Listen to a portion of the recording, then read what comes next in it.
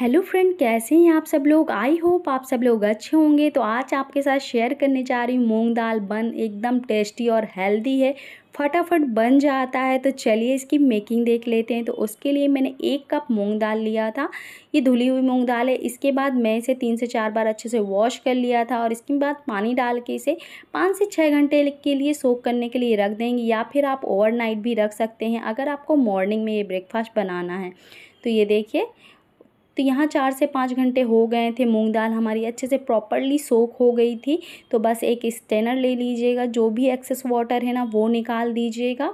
तो फटाफट मैंने सारा का सारा वाटर निकाल दिया। इसके बाद एक ग्राइंडर जार लीजिएगा, जिसमें सारी की सारी मूँग दाल को ट्रांसफ़र कर लीजिएगा। इसके बाद मैं इसमें इसमें एक इंच अदरक का टुकड़ा, चार से पाँच कलियाँ मैंने इसमें लहसन की डाल दी। आप इसी स्टेज में हरा मिर्च भी डाल सकते हैं अगर आपको प्रेफर करते हैं।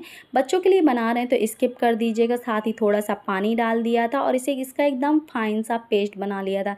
एकदम हमें फाइन पेस्ट चाहिए, एकदम लम्स नहीं होने चाहिए, वो दाने नहीं होने चाहिए मूंग दाल के, वरना वो क्रिस्पीनेस नहीं आएगा। इसके बाद मैंने इसमें डाला स्वाद के अनुसार नमक और साथ ही वन फोर टेबल स्पून मैंने इसमें डाल दिया हल्दी। और इसके बाद हमें एक ही डायरेक्शन में इसे अच्छे से मिक्स कर लेना है तो ये देखिए, अच्छे से मिक्स कर दिया था तो इसको साइड कर देते हैं। इसके बाद मैंने ढेर सारी वेजीज ली हैं। आपके पास जो भी सब्ज़ियाँ अवेलेबल हो, आप उसको डाल सकते हैं। तो मैंने इसमें प्याज लिया था, capsicum red, green, yellow capsicum लिया था। साथ ही कॉर्न लिए थे और साथ ही मैंने गाजर ले ली थी, जिससे इन सारी चीज़ों को फाइन चॉप कर लिया था। अब ये सारी वेजीज को हमें मूँग दाल के पेस्ट में ऐड कर देना और अच्छे से मिक्स कर लेना है। अगर आप बच्चों के लिए बना रहे हैं ना, अब बच्चों को चीज़ बहुत पसंद आती है तो थोड़ा चीज़ भी इसके जब फिल करेंगे ना तो बीच सेंटर में रख देंगे ना तो वो भी बहुत अच्छा लगेगा।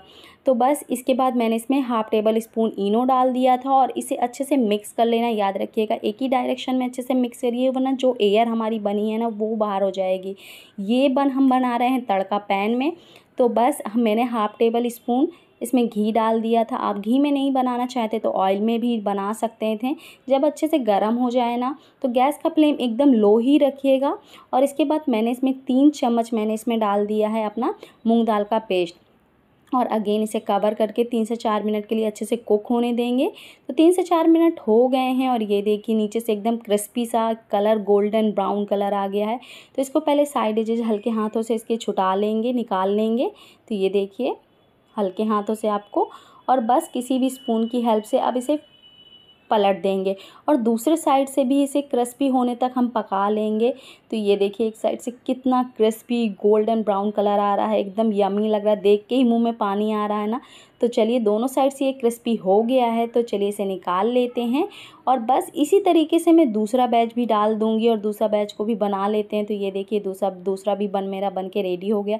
तो सारे के सारे बन ऐसे ही रेडी कर लेंगे। तो ये देखिए हमारे टेस्टी हो गए मूँग दाल के बन। तो इसे मैंने टोमेटो केचप के साथ सर्व किया हुआ, आप इसे हरी चटनी के साथ सर्व भी कर सकते हैं। बहुत ही टेस्टी लगते हैं। अगर आपको ये रेसिपी अच्छी लगी है तो वीडियो को लाइक कर दीजिएगा चैनल को सब्सक्राइब कर दीजिएगा कमेंट करना मत भूलिएगा।